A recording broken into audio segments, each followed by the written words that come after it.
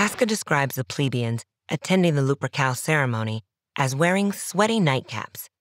I think this is another anachronism, something that would make sense to Shakespeare's audience, but wouldn't really apply to ancient Rome. That's right, Servilia.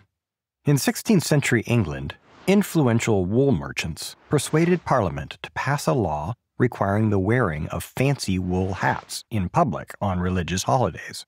These hats were referred to as nightcaps, since wool clothing was often worn to bed at night to keep warm. So, Shakespeare has his audience picturing a crowd of plebeians in the forum sweating profusely under their woolen hats on a sunny afternoon in this hot Mediterranean city.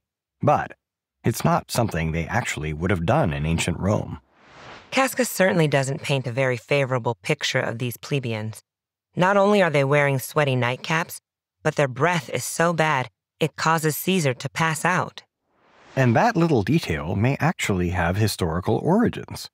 There are accounts of Caesar passing out at a public festival, but not because of the plebeian's horrible breath. Caesar had a health problem that caused him to occasionally faint and have convulsions.